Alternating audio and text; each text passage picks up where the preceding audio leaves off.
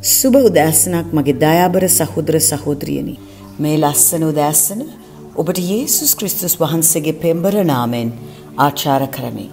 අද උදෑසනත් දෙවියන් වහන්සේගේ වචනේ අපට ඒසාය පොතේ නමවෙනි පරිච්ඡේදයේ හයවෙනි පදයෙන් සඳහන් කරන දීමයයි. මක් නිසාද අපට ලදුරුවෙක් උපන්නේය. අපට පුත්‍රයෙක් දෙන ලද්දේය. ආණ්ඩුවද උන්වහන්සේගේ කරපිට තිබෙන්නේය.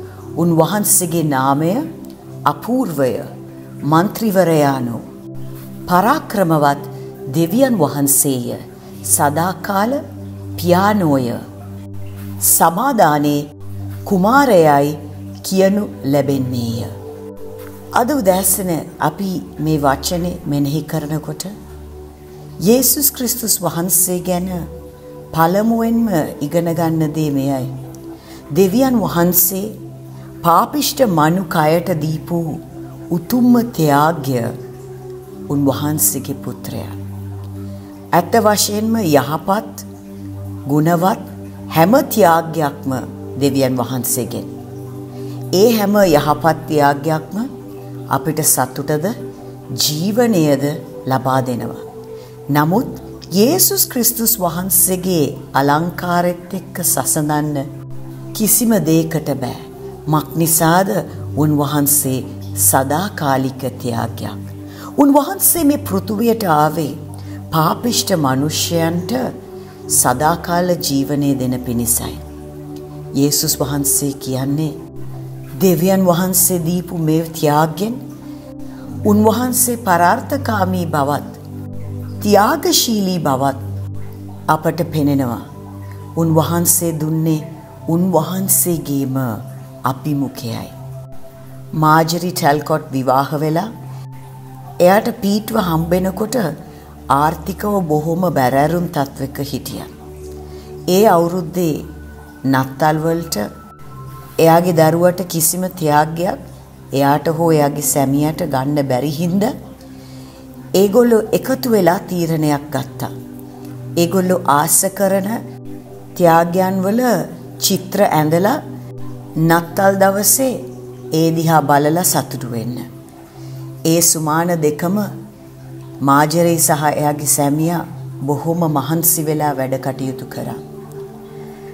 නත්තල් දවස ආවම මුළු පවුලම එකතු වෙලා ඒගොල්ලෝ ඇඳපු චිත්‍ර එකින් එක බලන්න පටන් ගත්තා.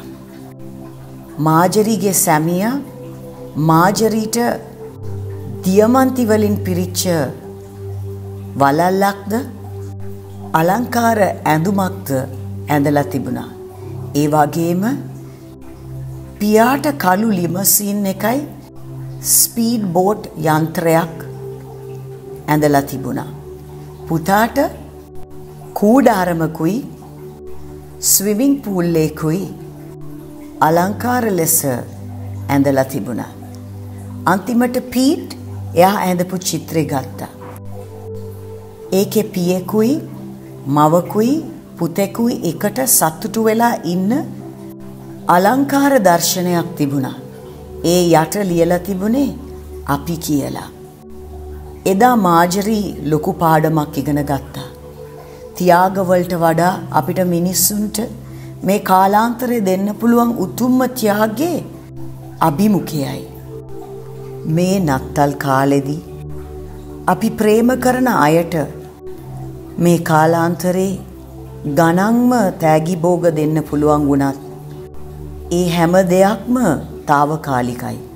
නමුත් ක්‍රිස්තුස් වහන්සේව මූලික කොට අපි මිනිස්සුන්ට අපේ කාලය දුන්නොත් අනිවාර්යෙන් කවදාක්වත් ඒක අමතක වෙන්නේ නැහැ. අද අපිට දෙන්න පුළුවන් උතුම්ම ත්‍යාග්‍ය තමයි අපේ වෙලාව. අපි දැන් යාඥා කරමු. අබ්බා පියාණනි ඔබගේ පුත්‍රයාගේ අභිමුඛේ අපිට දුන්නාත් සේම අපිත් අපේ වෙලාවෙන් කොටසක් අපි ප්‍රේම කරන අයට දෙන්න කරුණාව දෙනු මැනව. යේසුස් ක්‍රිස්තුස් වහන්සේගේ පෙම්බර නාමයෙන්. ආමෙන්. ශලෝම් මරණාතා